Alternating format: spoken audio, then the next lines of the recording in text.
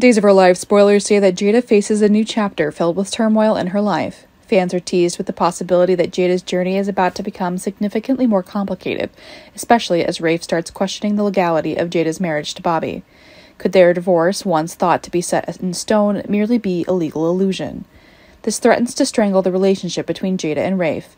Despite Rafe's understanding of Jada's deep animosity towards Bobby, a man who represents nothing but pain and betrayal in her life, the shadow of her unresolved marriage looms larger, casting a dark shadow over their love.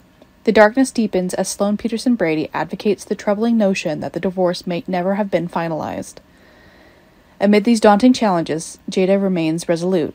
She declares, with clarity born of both desperation and determination, that her heart belongs to Rafe. Damn the law. Bobby, who crafted sorrows in his past, has taken enough from her.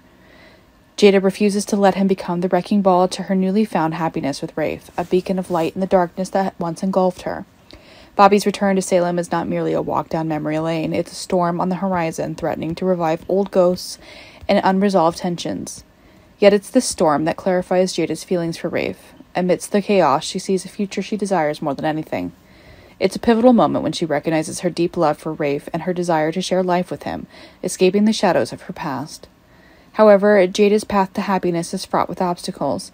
Her hesitance to move in with Rafe, a decision once stemming from a desire not to rush the relationship, now takes on a new significance after Bobby's reemergence.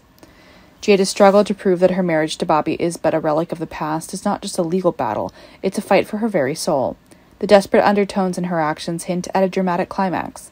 Will Jada take the final step and propose to Rafe, binding their futures together despite the odds? How will Rafe react to this proposal? Thanks for watching. Goodbye.